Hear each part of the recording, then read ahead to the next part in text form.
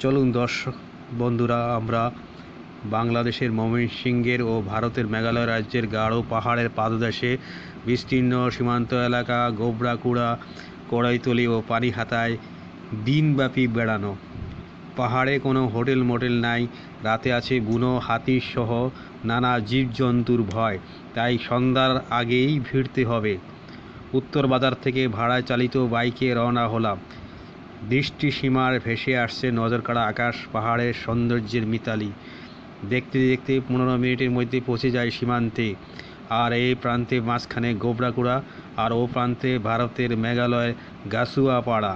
মাঝখানে no men's land area যেখানে আমদানি রপ্তানি বাণিজ্যের স্থল বন্দর চারিদিকে আমদানিকৃত কয়লা, পাথর স্তূপ স্তূপ করে রাখা। তবু যেদিকে তাকাই চোখে এসে নয়নাভিরাম গাঢ় পাহাড় ধরা দেয়। যেখানে দাঁড়িয়েছিলাম সেটি বাংলাদেশ ভারত সংযোগ সড়ক। সড়কের দুপাশে শরতের চিহ্ন হয়ে ফুটে আছে কাশফুল নিস্তব্ধ দুপুর গড়িয়েছে। পাহাড়ি রাস্তার ধারে এগিয়ে যাচ্ছে বাইক। পশ্চিম দিকে এবার যাচ্ছে কড়াইতলি শাপলা বাজারে পৌঁছতেই পাহাড়ে ঝর্ণার হাতছানি। টি টার্নে ঝর্ণা পিছনে ফেলে পোষাই গন্তব্যে। এখানে রয়েছে গোবরাকুড়ার মতো স্থলবন্দর। খুব কাছ থেকে গাঢ় পাহাড়ের প্রাকৃতিক সৌন্দর্য অবলোকন করা যায়। এখানে প্রাকৃতিক প্রকৃতির সাথে বাড়তি যোগ হয়েছে। পাঁচ একর জায়গা জুড়ে বিনোদন পার্ক।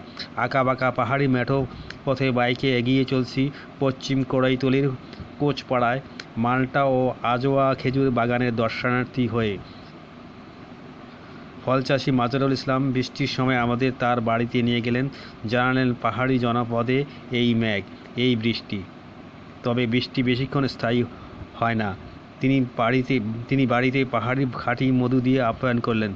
এখান থেকে বিদায় নিয়ে হালুয়াঘাট উপজেলার সীমান্ত অতিক্রম করে রঙ্গম পাড়ায় নালিতাবাড়ি উপজেলায় গেলাম।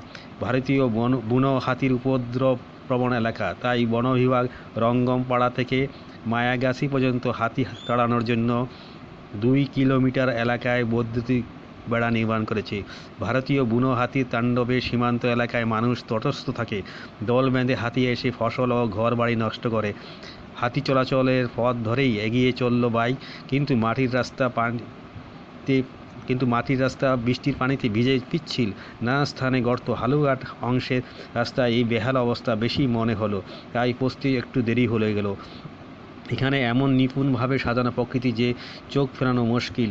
এরপর গারো পাহাড়ের নয়নাভিরাম সৌন্দর্য মধ্য দিয়ে এগিয়ে চললাম প্রকৃতি জংশন পানিহাতায় দলিলের নামটি পানিহাটা হলেও প্রচলিত নাম পানিহাতা পাহাড়, নদী, অরণ্যের মনোমুগ্ধকর নৈসর্গ সবাই এ এলাকাটায় বেলায় বেলায় যার রূপ পাল্টে যায়। পানিহাতা পাহাড়ে রয়েছে চার্চ অফ বাংলাদেশ সাধু আন্দিয়ে মিশন ও শান্তিধাম। চার্চে একটি প্রাথমিক বিদ্যালয় রয়েছে। কি দেখা যায় পানিহাতায় এক কথায় বলি প্রকৃতি। প্রকৃতি যেন তার সৌন্দর্যের ভাণ্ডার উপর করে দিয়েছে এখানে। সবুজ অরণ্য, পাহাড়, নদী, ঝর্ণা মিলে এ এক অন্য জগৎ। সন্ধ্যা নামার আগেই এখানে নেমে আসে সন্ধ্যার নিরবতা। লেখক সাংবাদিক কথা সাহিত্যিক আফিফ জাহাঙ্গীর আলী।